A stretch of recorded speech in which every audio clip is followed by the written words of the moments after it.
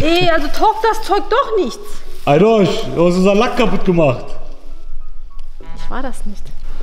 Wie das Öl hier reingekommen ist, hier, diese ganzen Leitungen hier. Das ist der Wahnsinn.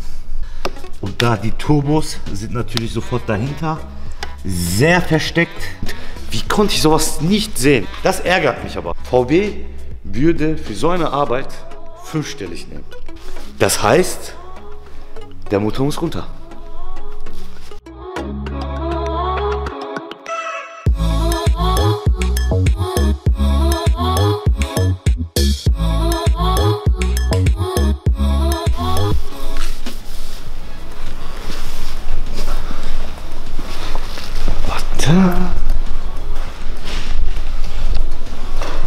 Hoschke ist bei Kfz 40 schön, dass ihr eingeschaltet habt. Heute geht es wieder um den Petron V10 TDI Biturbo.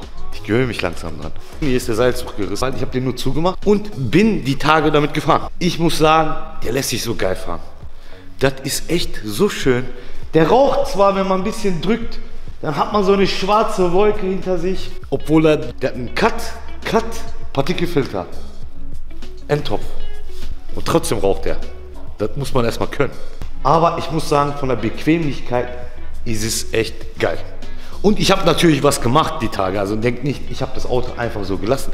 Weißt du, was ich repariert habe hier, Eidosch? Was ist das? Dafür haben wir jetzt kein Video gemacht. Ich hatte Zeit gehabt, habe auf Teile gewartet, habe gesagt, komm, baust du das ab, reparierst du ganz kurz. Weil ich wieso mit dem Audi, ein aufmerksamer Zuschauer hat ja bestimmt schon gesehen, der Audi steht hier seit sehr langem hier. Wenn der Kofferraum so war, war er komplett mit Wasser voll.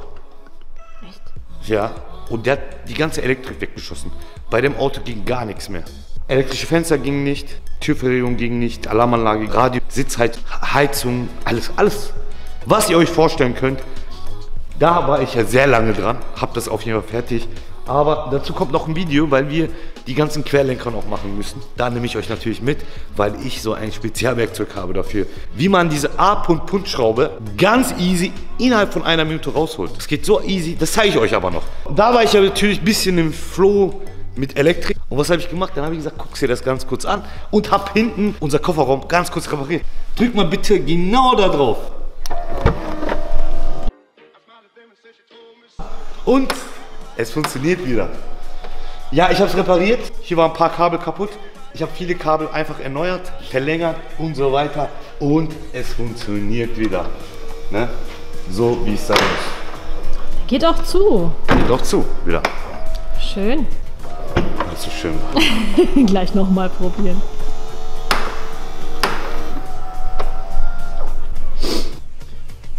Können wir von der Liste wegstreichen. Heckklappe, fertig. Gleich das erste hast du schon mal ready gemacht. Drinne.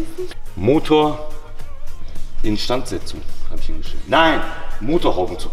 Heute geht es um das Servoöl. Wir waren uns natürlich nicht sicher. Werden wir den Motor runternehmen müssen oder nicht? Und heute haben wir die Gewissheit, ja, wir müssen unseren Motor runternehmen. Echt jetzt? Ja, und warum zeige ich dir jetzt? Damit das hier keiner klaut, habe ich sogar unsere Abdeckung wieder drauf gemacht.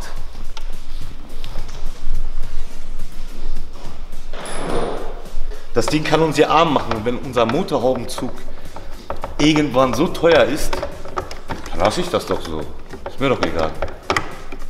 Dann jedes Mal, wenn wir Öl kontrollieren, bauen wir das ganz kurz ab. Zwei Schrauben, Abdeckung können wir ja weglassen.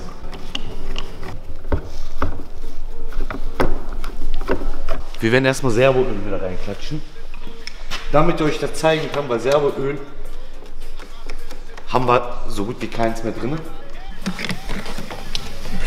Ich sehe es schon kommen. Du hast ja gesagt, hier haben wir jede Menge Platz. Ja. Es wird voll gemacht mit Phaeton-Sachen. Mit, Ey, mit Phaeton-Sachen. Ha, jetzt hat's geklappt. ich dachte schon, geht wieder nicht. Oh, ich dachte schon, ey, ist wieder kaputt gegangen oder was? Ey, das wär's, ey. Meinst du, wir kriegen die Beule hier raus? Guck dir die Beule mal an hier. Ja, Sieht man die Beule? ja, sieht man. Sollen wir die gleich mal versuchen? Warum nicht? Mit deinem komischen Wischwerkzeug? Wischwerkzeug. Weißt du was, komm ey, bevor wir weitermachen.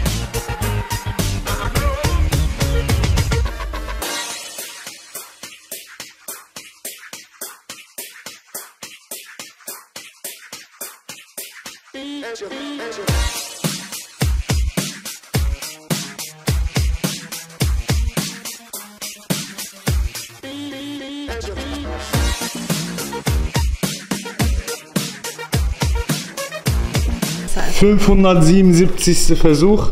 Aber der ist noch nicht trocken. Dann probier mal. Also erstmal ein bisschen spannen, ne? Ja, das reicht doch. Das Sicher? reicht doch. Ja, jetzt gib mal Nein. ganz schnell. Ja, Aydosch. Ey, also taugt das Zeug doch nichts. Aydosch, du hast unseren Lack kaputt gemacht. Ich war das nicht. Das warst du. Ich war das nicht. Jetzt muss er erst recht lackiert werden. Luftfilter. Die sind hier verbaut. Sehr nice. Wird auch nicht oft gewechselt, weil man einfach sehr bescheiden drankommt und viel Arbeit verbunden. Wie, wie der hier ölt, ne? Wie das Öl hier reingekommen ist, hier, diese ganzen Leitungen hier. Das ist der Wahnsinn. Hier ist der Ölkühler hier ganz unten. Und man sieht ja auch, dass dieser Ölkühler einfach undicht ist. Ne? Das heißt, den Ölkühler müssen wir sowieso hier erneuern. Hier Wasserflansch sehen wir. Äh, der ist undicht. Das werden wir auf jeden Fall machen. Eine neue Dichtung rein oder gegebenenfalls komplett hier erneuern. Ich glaube, das ist ja sozusagen Thermostat. Das werden wir erneuern und dann ja dann haben wir natürlich hier haben wir jede Menge Ölverlust. Das heißt, die Ventildeckeldichtungen höchstwahrscheinlich sind undicht. Dann haben wir hier sofort die AGRs sitzen, hier drunter. Und da die Turbos sind natürlich sofort dahinter. Sehr versteckt. Ich glaube, Turbos ist auch mal hier so eine Sache. Turbos sind auf jeden Fall auch nicht gut. Haben wir ja vor unten gesehen, dass die Ladeluftkühler voll mit Öl waren. Ne, er hat ja hier einen Ladeluftkühler und natürlich da muss er einen Ladeluftkühler haben. Da sieht man den Ladeluftkühler, sehr schön. Da werden wir mal schauen, ob die in Ordnung sind. Da ist auch einer.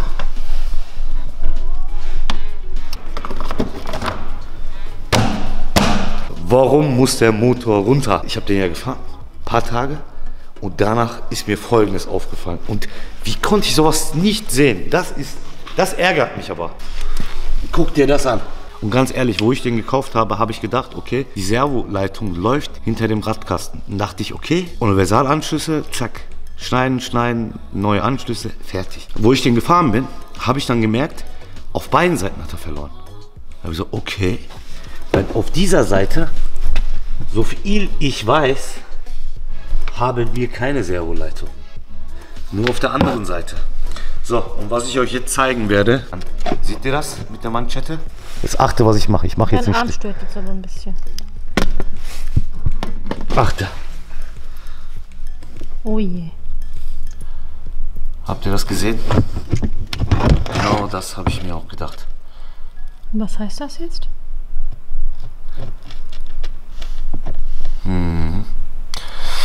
Das ist das Problem. Krass. Das ist krass. Und ich habe noch ein ganz kleines Loch reingemacht, ne? Das ist jetzt Servoöl, oder? Das ist Servoöl. Das ist das gute Motulöl, was ich jetzt reingemacht habe. Ganz frisch, siehst du ja auch. Ja, Eidosch. Gute Frage. Was heißt das? Kann ich dir ganz genau sagen. Sag mal. Servoöl, das ist das Lenkgetriebe. Lenkgetriebe. Defekt. Defekt? Yes. Affiliate vom Lenkgetriebe. Und weißt du, was das Problem ist beim Lenkgetriebe? Zeige ich euch jetzt. Also ihr müsst euch vorstellen, Motor und danach das Getriebe und auf das Getriebe sitzt das Lenkgetriebe. Das heißt hier drunter quasi. Und da ist das Problem. Ihr kriegt das Lenkgetriebe nicht so ausgebaut. Das heißt, der Motor muss runter. Du kannst nicht einfach das Lenkgetriebe so da schrauben, da schrauben und dann so abziehen. Geht nicht. Also Motor muss runter. Motor muss jetzt runter. VW würde für so eine Arbeit fünfstellig nehmen. Mit das Lenkgetriebe zusammen. Ist auch zu Recht. Das ist echt so viel Arbeit. Ich habe ja vom Motor ein paar Sachen bekommen. Die Paletten habe ich nicht umsonst hier gelassen. Wir werden vier Paletten übereinander tun. Die komplette Achse mit Motor, mit Getriebe hier drauf. Also warte mal, du nimmst jetzt nicht Getriebe und Motor auseinander, sondern Nein, die beiden kommen zusammen auf so eine Ja, Palette ja, dann. also Motor, Getriebe brauchen wir ja nicht auseinandernehmen. Also das muss man nicht machen. Nein. Wir werden das Ganze natürlich komplett ausbauen. Komplett hier drauf. Und dann können wir da drauf schrauben. Wie die Weltmeister. Ich meine, auseinanderbauen ist ja kein Problem. Den aber wieder wieder zusammenzukriegen, oder? zusammenbauen und dann dicht sein. Ja, wir haben auch jede Menge Ölverlust. Ne? Also das wird sehr interessant sein. Also Und- ist auch positiv, oder? Äh, Wenn du es schon runter hast, dann kannst du auch direkt alles besser überprüfen. Ja, ja, klar. Also, wenn wir, also das Problem ist, hier wirst, hier wirst du Kleinigkeiten unternehmen. Guck einfach mal an, Aidosh. Guck mal an, wie dieser Luftfilter hier sitzt. Guck mal, der Luftfilter wurde nicht mal richtig reingesteckt. Achte mal hier. Hier, Schraube ist nicht fest. Hier ist die Schraube nicht fest. Hier ist alles ab. Also haben wir mal probiert, das Ding hier abzumachen und haben gemerkt, An so Oh. einen Motor sollten wir lieber nicht rangehen, oder?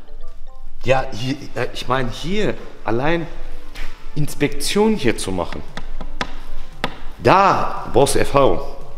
Ne, wenn, wenn du das hier siehst, hier, da- das, das kann kein, also ich sag dir, das kann nicht jeder Geselle machen oder die Azubi sowieso nicht und jeder Geselle geht auch nicht dran. Ne, ich, ich sag's sogar, ganz ehrlich, wenn ich sowas hier habe, das ist schon wild, muss ich sagen. Du baust was ab, geht was kaputt, kann ja passieren. Ein Plastikschlauch geht kaputt, ein Flansch geht kaputt. Ja, besorg erstmal die Teile. Du hast ja selber gesehen, was wir letztens bei VW bestellt haben, was so ein kleiner Schlauch kostet. Ja. Ne? Ich habe den nur angetippt und der ist auseinandergeflogen. Bei einem 2018er Modell. Ne? Und der steht immer noch da. Den Motor ja auseinandergebaut. Der geht sofort kaputt sowas. Und ich will gar nicht wissen, was hier alles kaputt gehen wird und was es dann kostet im Endeffekt. Kriegt man die Teile überhaupt von dem? Ja, das ist auch ein Problem.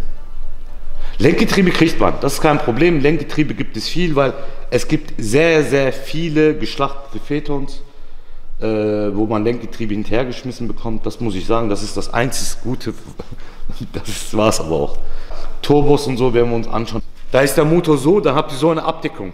Und bei dem ist das genau andersrum. Ihr habt so einen Motor und so eine Abdeckung. Guckt euch die Abdeckung mal an. Und der Motor geht ja noch weiter. Ich freue mich auf die Herausforderung. Ne, bis Mai haben wir ja nicht viel Zeit, drei Monate noch. Ich werde mir eine Bühne frei halten, da wird er locker einen Monat stehen. Einen Tag werden wir den hoffentlich abbauen, alles drauf und dann gucken wir mal richtig, was für Sachen wir bestellen müssen, ob wir die kriegen und, und, und, und, und. Wow. Ich habe mir mit dem Wagen, glaube ich, keinen Gefallen getan. Ich wollte einen Phaeton VC. Sechs Zylinder waren mir zu wenig. Effizient. Aber, ey, Schon eine ready. Sache ist schon erledigt, Eideuch. Die Heckklappe. Ist doch schön. Aber wenn wir den fertig haben, glaub mir, dann haben wir unser Urlaub echt verdient. Und das Geile ist, wird im Urlaub was passiert. Glückwunsch an die fünf Gewinner, die ich unten erwähnt habe. Schreibt mir bitte mit euren Adresse und am besten eine Telefonnummer. Da melde ich mich auch nochmal persönlich und gratuliere euch nochmal. Und dann könnt ihr nochmal sagen, was ihr alles haben wollt. Wir haben Kühlerdicht, Kühlerreiniger, DPF-Reiniger, Automat, Getriebereiniger, Ventil, Injektorreiniger, Ölstopp. Meinst du, Motul ist auch sehr gut. Meinst du nicht, wenn wir zwei Stück da reinklatschen, hält das Ganze? Dann haben wir doch alles dicht. Aber dann wäre es ja zu einfach. Wollen wir ja nicht. Oder Motorsystemreiniger. Die Sachen werde ich ja sowieso komplett bei Mapheton ausprobieren. Ein könnt ihr aussuchen oder ein Öl nach Wahl. Ein Liter natürlich. Und für die Leute, die nicht gewonnen haben, wir werden noch sehr viele Gewinnspiele machen. Dankeschön nochmal an Motul, dass Sie uns zur Verfügung gestellt haben fürs Gewinnspiel. Dankeschön nochmal an euch und wir sehen uns beim nächsten Mal. Euer Kfz-Prinzip. Bis dann, haut rein, bleibt gesund.